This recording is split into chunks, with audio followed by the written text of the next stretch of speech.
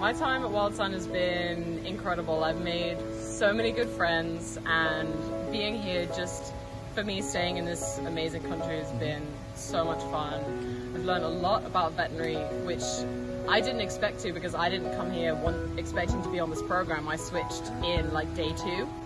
Um, once I'd heard what these guys were doing and I thought that is better for me because I want to do veterinary as well.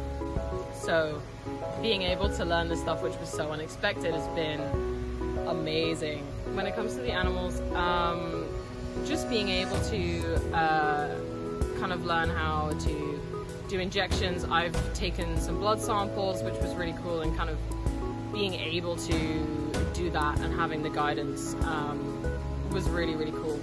Uh, I worked with um, an iguana, he was amazing. Um, some baby possums, howler monkeys.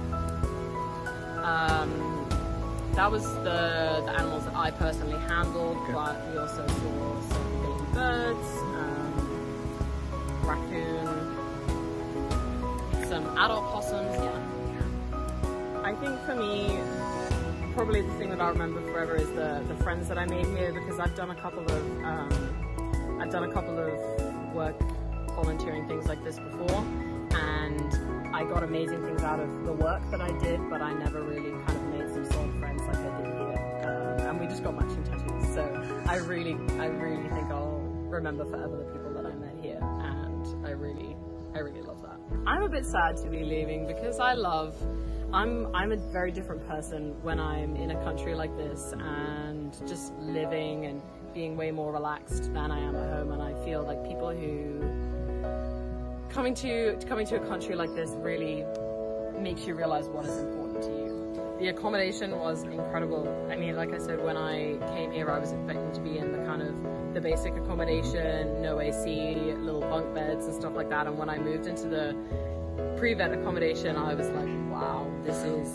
incredible. Proper gorgeous showers, big beds, AC and everything. And I just, it was so luxurious, not what I expected at all.